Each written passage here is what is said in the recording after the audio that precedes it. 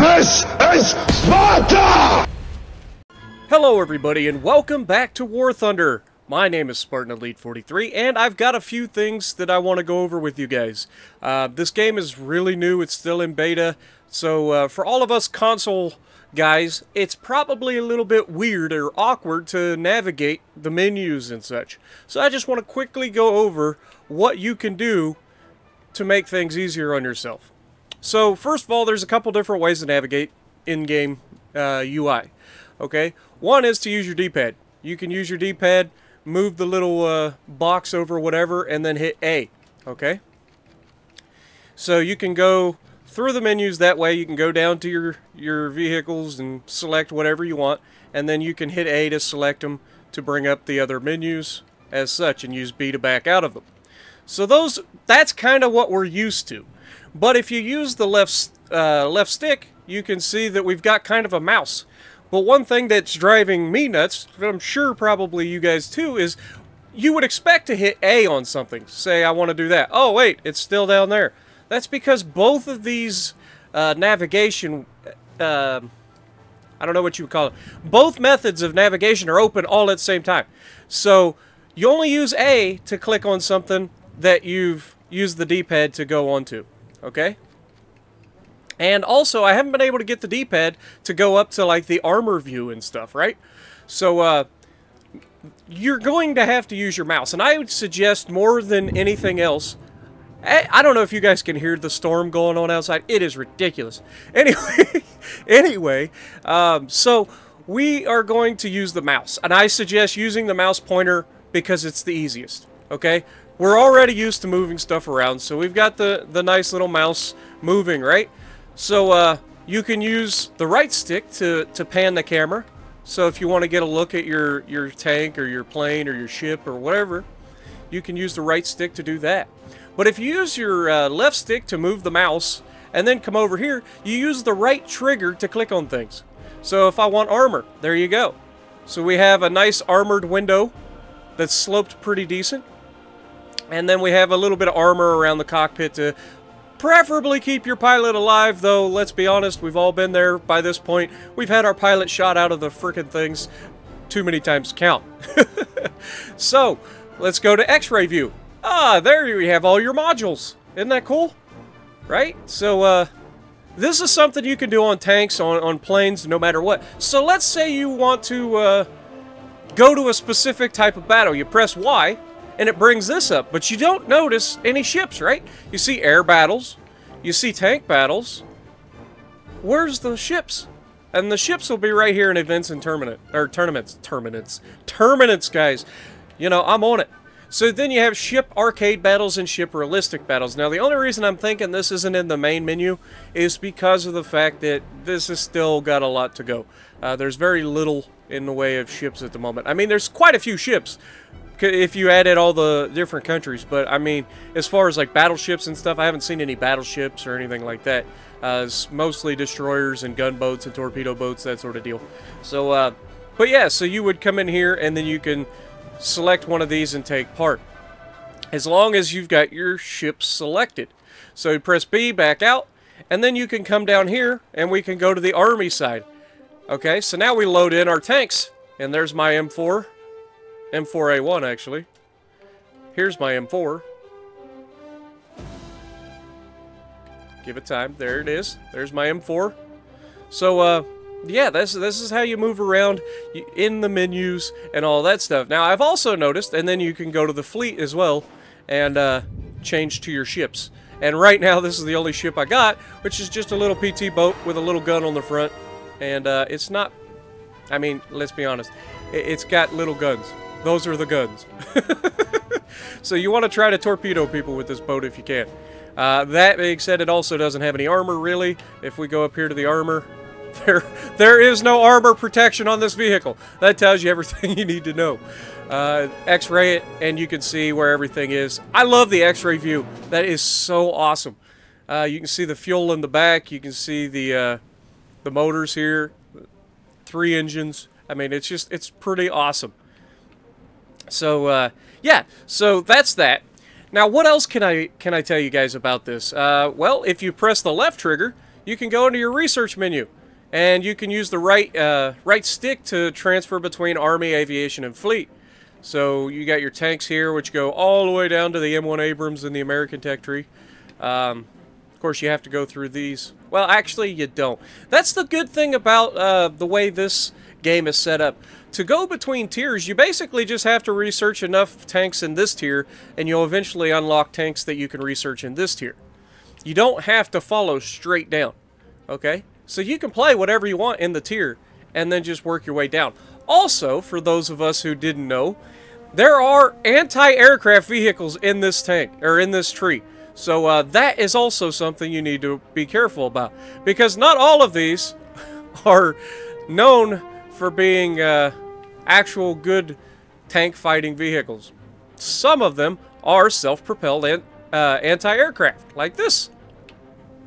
And then you get down to this, and then eventually you would make your way down and you would be in this beast with a uh, what appears to be a minigun turret. So that'll be that'll be fun. I want to get a chance to try out everything. As you can see, I have played more tanks than anything else, but I've been playing tanks and aviation mostly, and I just got into Tier 3. So uh, we're starting to get into some of the big big boys, like the M18 Hellcat. That'll be nice. We're on the M10 Wolverine right now. So uh, you can see I want to get into the Hellcat. I want to be able to drive the M6, the M4A2, all kinds of good stuff. And then make your way down to eventually having M60 Pattons. I mean, come on. M48, M60 Patton. Like, you just, it's going to be fun. And then your main battle tank uh, experimental. It's going to be great, guys. Um, so yeah, so this is your tech tree for the Americans in uh, the Army. Then you have your aviation right here you can see we're making our way downtown. No, no song? Okay. but you can see it goes all the way into jet fighters, guys. Not modern jets, but but like Korea War jets. Um, like your F4. Actually, F4 is quite a ways up here, isn't it? I don't know where it's at, actually. Anyway, I was going to say the F4 Phantom, but uh, yeah, so then you got your planes, and then you've got your fleets. And as I said before, they don't really seem to have any battleships, though they do have some big uh, sub-chasers. You got your uh, motor gunboats, and then you got your motor torpedo boats. Um, and this is what we've got right now, is 81-foot uh, PT boat, little torpedo boat. And then you can go all the way down to the USS Trenton, which is just a light cruiser. But it'll be fun. It's going to be fun. There's a lot to this game, so hopefully you guys enjoy um, that. But I also want to show you one last thing that I think is going to help you guys out. If you press Start or the uh, menu button, whichever you want to call it, you'll notice that you got leaderboards, options, and controls up here. So if you go to Options, you can come in here and uh, you can use the right stick to scroll, and you use the left stick to, to point the mouse, or you can go back to using the old uh, D-pad and using A. But if you use the, the mouse, you can see that there are different battle settings for each type. So if you got air battle, here's all the different things in air battle. Um, you can change your crosshair, you know, pointer aim mode on... Wait a second. Oh. Okay. So, uh, yes. Yeah, so we've got aerobatic smoke. You, you got all these different things. Um, and then you can change the color of your crosshair too. So this is little things that are going to be awesome. Um, and you can turn the the uh, leading on or off depending uh, whether you like the challenge or not. Um, then you can also turn the sensitivity. Where is it at? I think there's a sensitivity for the. Uh, where yet? Am I wrong? Maybe that's in the controls. We'll go to look at the controls in a minute. But tank battle settings, right here. Grass in sight. This is something that I think will help everybody out. If you turn grass in sight off, it's supposed to take the grass out of the aimings, like when you're aiming down sights. Uh, that's something that the PC players get in their uh, graphics menu as well. They can turn the graphics down to the point where they don't see bushes or anything like that. I don't know how well that works or if it's just if you're parked in a bush, the bush that you're parked in will not show up in your gun sight, which will be nice. Okay, So uh, that's definitely a thing. You can also uh, change all the rest of this stuff as well. And then naval battle, here's your, your naval battle stuff. And then battle interface settings, you can change uh, teammates' colors and all that good stuff. So there's a lot of stuff that you have control over. Uh, your speed measurement, altitude measurement. You can change this from uh, miles per hour, to, well, it starts out as kilometers per hour. Because, let's be honest, the U.S. is the only one that seems to be old school. Uh, but that's what I know, so that's what I use. In Fahrenheit instead of Celsius, miles, uh, feet, miles per hour, that sort of thing. So you can change that to fit what you understand, which is a huge thing. I wish other people would uh, get that into their head as well, gamers or game uh, developers. You know, being able to change things like this help us that aren't all metric.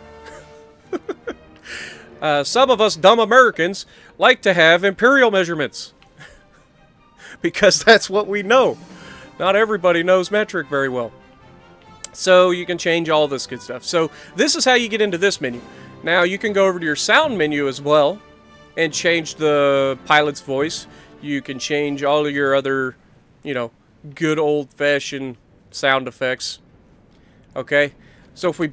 Actually, I just noticed something else. What was the uh, options? And then press X, post effects. Okay, so we can actually change... Uh, like the actual colors and whatnot too. So that's cool. That's cool. You can take lens flare down and all that good stuff to keep everything. But, I mean, let's be honest. The game looks good. So I don't think I'm going to mess with these too much because I like the cinematic look of it. Uh, yeah, lens flare can get in the way if you're fighting at a distance. I, I could see that. But, uh, but yeah.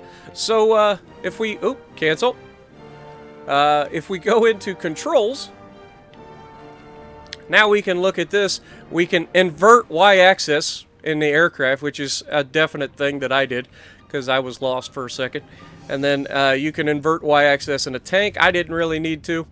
And then invert camera y-axis, uh, and I said no. So we're good there. And then gamepad control sensitivity, sensitivity, in zoom, gunner sensitivity i still like in tanks i need it higher. I wish they would allow you to do different uh, gunner view sensitivity in um, different like game modes. So like if the tanks you could have one gunner view sensitivity and then the aircraft you could have another. Because if you jump into your tail gunner with uh, high sensitivity you cannot possibly get used to that. Like that is ridiculous. It, it changes so quickly. So uh, I've turned that way down. It was all the way up here so I've turned that quite a bit down. And hopefully that helps you guys. We go into advanced controls. You can actually map your own controls, which will be cool for, uh, like, if you go into weaponry, you can toggle your uh, weapons here. You got select primary weapon, left trigger D up, select secondary, left trigger D pad down, and anti-aircraft weapons. That'll all come in handy on uh, oh, what do you call it? That'll all come in handy on ships, I'm sure, when you've got multiple guns you got to manage. And uh, the tanks, not so much. Except for this down here. Manual target targeting a primary caliber should be... Uh, pretty sure this is just... I don't know. I'll be honest. I'm not 100% sure on all of it. But this is where you can you can map your own controls. Um, and then you can just, like I said, use the right trigger. I just wanted to come in and show you guys some of this. I'm not going to be changing everything or anything like that. Uh, I wanted to give you guys what I've learned so far because the game doesn't really tell you any of this stuff. It just kind of drops you in and, and lets you do what you want to do. So hopefully this wasn't too boring of an episode for you guys. Hopefully you guys enjoy uh, enjoy looking at uh, or learning hopefully I've been able to teach you guys how to use the menus better, how to use your uh, cursor to uh, select things. So uh, if you like what I'm doing, punch the like button, leave a comment below, subscribe to the channel if you haven't already, and as always, I will see you in the next video.